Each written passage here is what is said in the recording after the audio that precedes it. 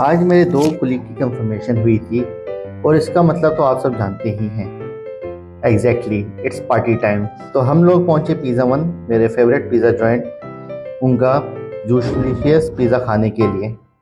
बात करें pizza one की तो ये मेन शहीद मिलत रोड पे वाक़ है, और ये एक बहुत वसी वेल डेकोरेटेड रेस्टोरेंट है, जहाँ फ्रेंड और फैमिली के साथ क्वालिटी टाइम स्पेंड कर सकते हैं, और आराम से ऑफ़िस और फैमिली गेट टुगेदर भी प्लान कर सकते हैं।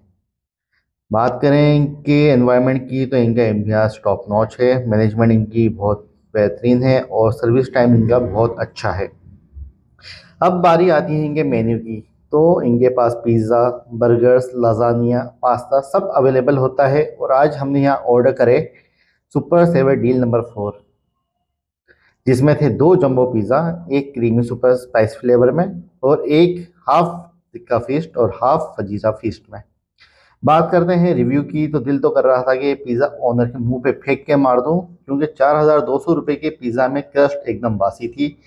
चीज़ नाम की भी नहीं थी, आम दिनों से बिल्कुल मुख्तलिफ़ था। और कंप्लेन करने पे चेफ ने इसको पापड़ नुमा पिज़्ज़ा को और पका के जली हुई डब्ल्यू बना दिया।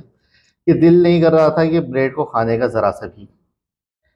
टिक्का फेस्ट और फजीता फेस्ट काबिल कबूल था इनका। टॉपिंग उसकी अच्छी थी चिकन भी फुल लोडेड थी। ब्रेड भी काफ़ी हद तक इसकी काबिल कबूल थी। लेकिन मेरी नज़र में वो पिज़्ज़ा नहीं होता, जिसमें चीज़ ही नहीं होती। इसलिए आज मैं इनके टिक्का फीस्ट और फजीदा फीस्ट को देता हूँ दस में से चार।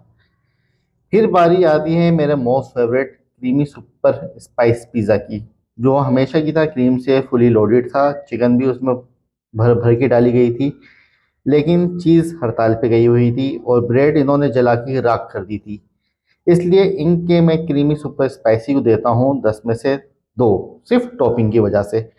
ओवरऑल एक्सपीरियंस पाकिस्तान के तमाम रेस्टोरेंट की तरह था, जहाँ आप तारीफ़ जितनी चाहें कर लें, लेकिन आप बुराई करेंगे तो फॉल्ट आप में निकाले जाएँगे।